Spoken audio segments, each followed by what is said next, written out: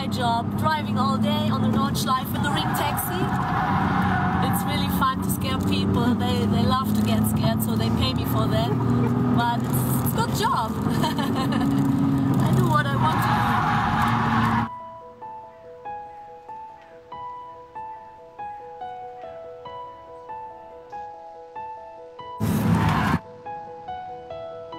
Yeah, I grew up in my mom's hotel in the middle of that little village Nürburg. And there were not many hotels in that time around the track. And all the former Grand Prix drivers like Ascari, they were in our hotel. And later uh, Nelson Piquet. So very famous people came. Yeah, so I had all the time interest in motor racing.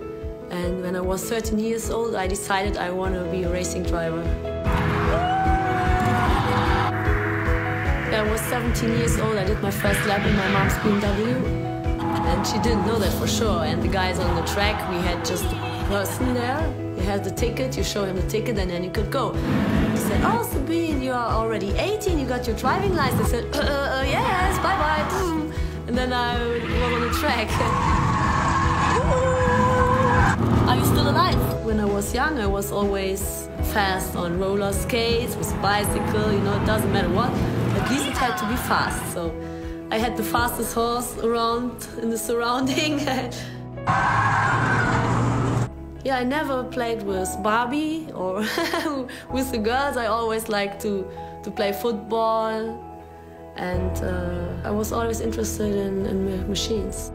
I think with BMW I've won uh, 45 races on the Nordschleife.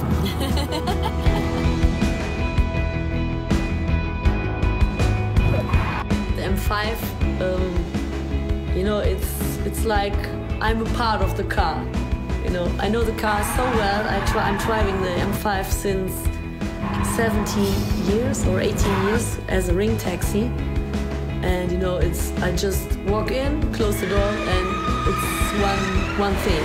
I don't know. It's my home, my living room, the M5, and and it's really fun to drive.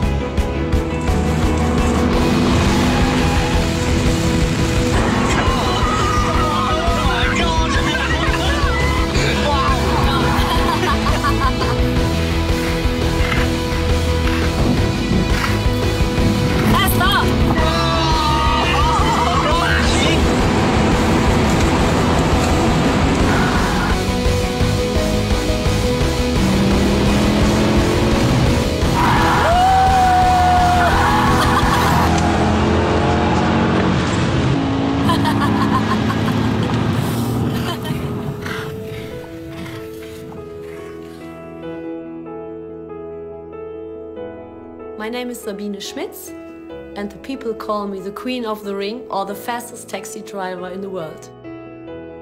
You know, for me, it's like the way to school every morning. I never had to learn the track. It's, I don't know, it's in my blood.